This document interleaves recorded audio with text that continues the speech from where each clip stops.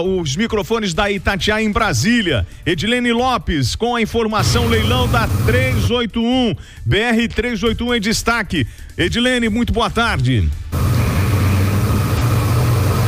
Boa tarde, William Travassos. Boa tarde aos nossos ouvintes. Pois é, informação em primeiríssima mão aqui no Itatiaia agora. O leilão da BR-381, marcado para a próxima quinta-feira na Bolsa de Valores de São Paulo, tem dois investidores interessados. Os envelopes foram entregues hoje e está confirmado que participam da concorrência as empresas Corretora Opportunity também Corretora Citra Aterpa. É o nome da empresa. Corretora Cita a Terpa. Essas são as duas interessadas que vão participar do leilão na Bolsa de Valores de São Paulo na próxima quinta-feira. É uma informação que ainda não foi divulgada pelo governo federal e é antecipada pela Itatiaia, mas está confirmadíssima. A concessão será para o trecho que vai de Caeté até Governador Valadares, porque vamos lembrar que o trecho mais perto de Belo Horizonte, Belo Horizonte Sabará, o governo federal retirou da concessão para iniciativa privada, porque eram trechos caros, com muitas desapropriações, com relevo muito acidentado, e aí fizeram essa nova modelagem que o trecho que não é tão trabalhoso assim fica para a iniciativa privada.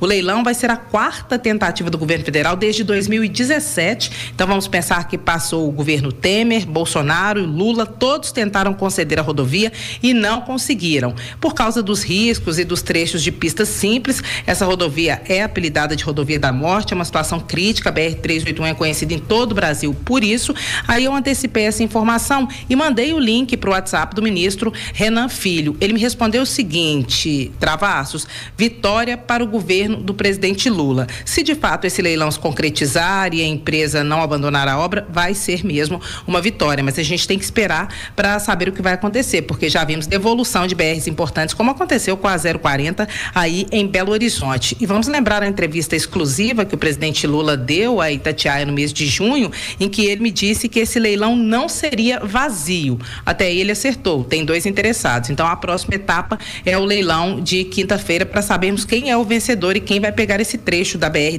381 de Caeté até Governador Valadares Travassos. Edilene Lopes falando ao vivo de Brasília. Edilene, perfeito. Obrigado pela informação. Então, dois interessados aí no leilão da BR 381. Uma boa notícia, expectativa grande, né? Pra gente que circula aí pela 381 e sabe o como é difícil encarar né, essa rodovia da morte. Grande Edilene, obrigado pela informação.